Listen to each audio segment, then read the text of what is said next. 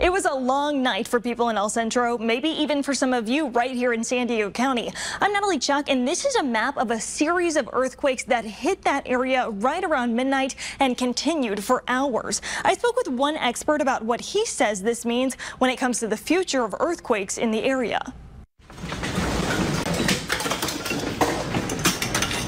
This was the inside of one home in El Centro moments after a 4.8 magnitude earthquake struck nearby in the middle of the night. I was already in bed and uh, it just started shaking.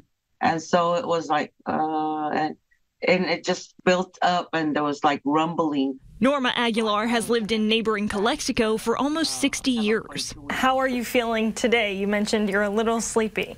Well, yeah, because there was continuous aftershocks and I couldn't sleep because my dog was freaking out. As someone born and raised there, these kinds of earthquakes are nothing new to her. It's a very complex area right there. Dr. Pat Abbott is a professor of geology. 12 magnitude 3 and 4 earthquakes within less than 3 hours. That, that's that's quite an event.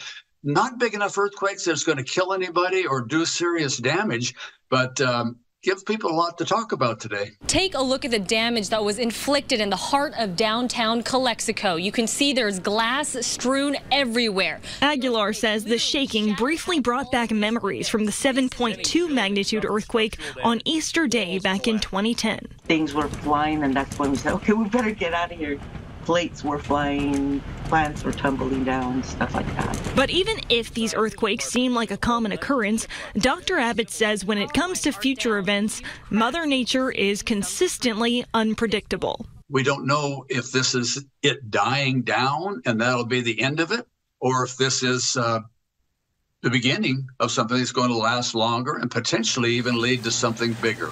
Natalie Chuck, ABC 10 News.